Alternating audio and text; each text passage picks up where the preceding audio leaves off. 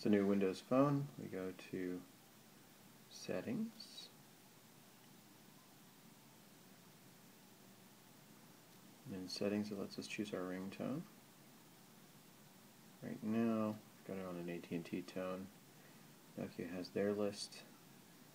Classic tune. Or the superior remix.